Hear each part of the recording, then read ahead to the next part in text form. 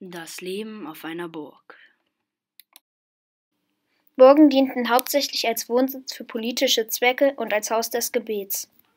Die Blütezeit von Burgen war im 11. Jahrhundert, doch schon im 9. und 10. Jahrhundert begannen Adlige feste Wohnsitze zu bauen. So gab es im Mittelalter schätzungsweise 20.000 Burgen.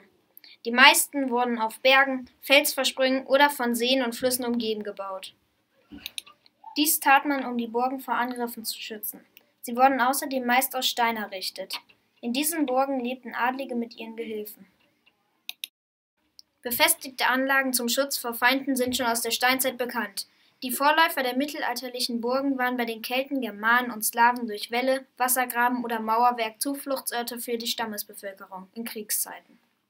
Wenn wir an Burgen denken, denken wir meist an gewaltige Steinbauten und an Ritter. Doch die eigentlichen Herren der mittelalterlichen Burg waren die Adligen.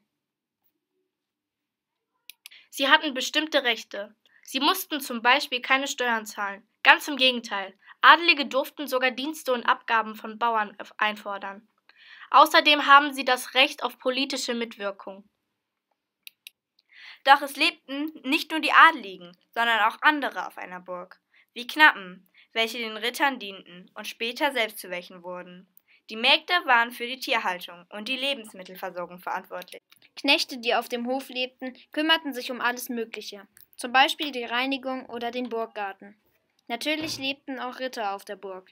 Sie mussten kämpfen, verteidigen und treu und gehorsam sein. Auf einer klassischen Burg war sehr viel los. Neben den eben genannten Burgbewohnern konnte man oft auch einen Geistlichen finden. Insgesamt lebten ungefähr 50 bis 100 Menschen, wovon jeder eine feste Aufgabe hatte auf einer Burg. Deshalb musste ein, so eine Burg auch ausreichend groß sein und sollte viele nützliche Gebäudeteile haben.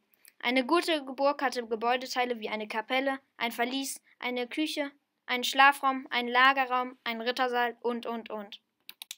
Wir hoffen, euch hat unser kleines Erklärvideo gefallen und ihr konntet etwas lernen. Tschüss, bis zum nächsten Mal.